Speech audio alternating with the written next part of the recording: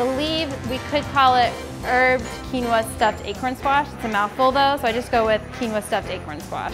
Thanksgiving table is often centered around the turkey, but this stuffed acorn dish really challenges that tradition.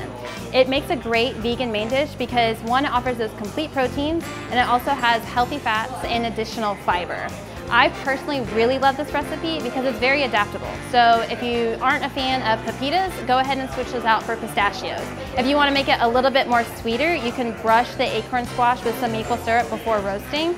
Or if you're not a fan of quinoa, go ahead and use wild rice instead. Any way you make it, it's a very easy and versatile vegan main dish. So instead of turkey, go for this stuffed acorn squash.